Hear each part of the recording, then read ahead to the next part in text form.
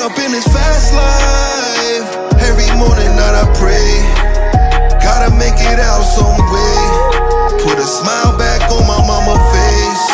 Yeah, I'm caught up in this fast life. Every morning night I pray.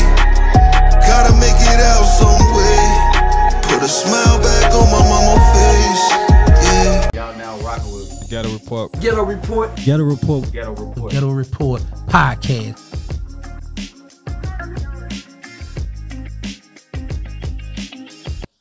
Back to Charleston White. Have you heard from him or his people since then?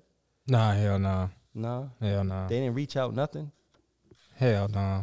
Yeah. Nah, hell nah. Damn, that's kind of crazy. W- w- would you interview him again? Hell nah. Nah. Hell nah. Straight on that. What if he? What if he's he comes back and say, you know, I apologize. I was out of pocket. You know, I shouldn't have did all that. You know. Well, seeing as though it's April 2023, you know what I'm saying? That happened in November 2022.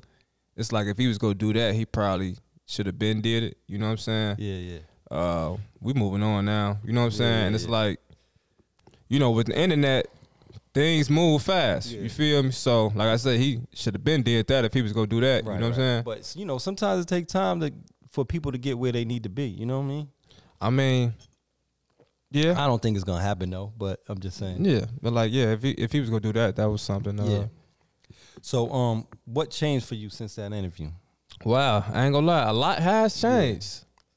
I ain't gonna lie, a lot has changed since that interview. Shit, damn near. Your your pussy rate went up. Nah, I don't even really be fucking with no hoes. Oh, you must. You got a girl.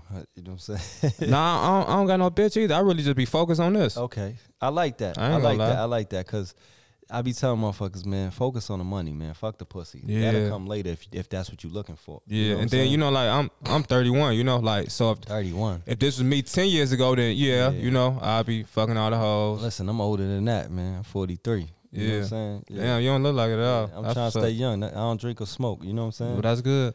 I'm caught up in this fast life. Every morning night I pray. Gotta make it out some way.